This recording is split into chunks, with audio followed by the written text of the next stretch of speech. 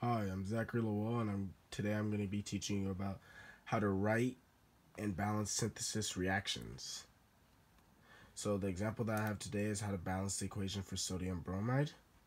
So the first step would be to write out the elements that form sodium bromide in the pattern A plus B, arrow AB.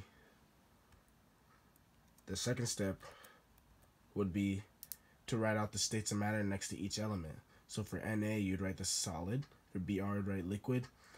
And then for the other one, NaBr, you'd write S for solid. The third step, you'd write out the subscripts of each element, as you can see in the circles for each.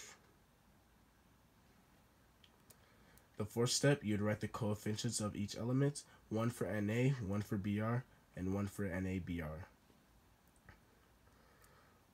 The fifth step would be to balance the coefficients that were in the previous slide by putting the 2 in front of the NA and putting the 2 in front of the NABR so that the 2's even out and the 2 for the subscript for the BR's even out also. Hmm. So that would be the end product of a synthesis reaction. General rules for the synthesis reactions are usually to write out the elements that form the compound and the pattern formed, and then also to write out the states of matter next to each element, after that, write out the subscripts of each element. Fourth, write out the coefficients of each element. And fifth, balance the uh, each element so that they're equal on both sides.